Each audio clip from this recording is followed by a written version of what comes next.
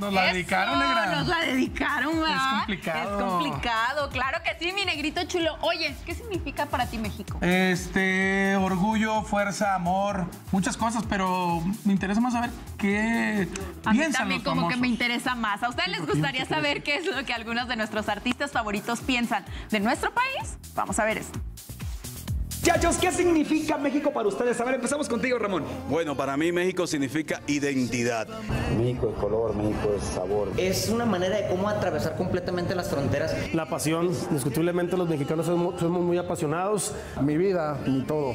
Fuerza, pasión. México es una tierra paradisiaca donde siempre la familia es primero. La gastronomía sin duda es algo, es algo que nos representa a nivel mundial. Para mí es un honor ser mexicano. Mis raíces, mi origen. Es cultura, es amor, es fiesta, es alegría. Es un país con el cual yo me identifico. Para mí México es lo más importante en mi vida. Pues yo me siento muy orgulloso de ser mexicano. México significa muchísimo orgullo. Los mexicanos hacemos que sea el mejor país. El país más importante del mundo. ¡Viva México! ¡Viva!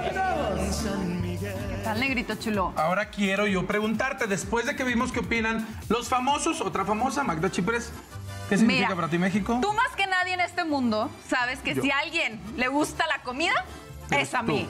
Entonces, más que he nada. tenido oportunidad de viajar a varios países, pero en México es el país en donde está la comida más deliciosa del mundo. ¿En serio? ¿Qué? Sí, Las quesadillas es lo que más Las te gusta, quesadillas, ¿no? el picante, todo, todo la garnacha mexicana es lo más delicioso. Que, que su dona de chocolate recién salida del aceite. Verde, blanco y rojo, Papá. todo, todo, ¿no? Ay, qué chulada. Ay.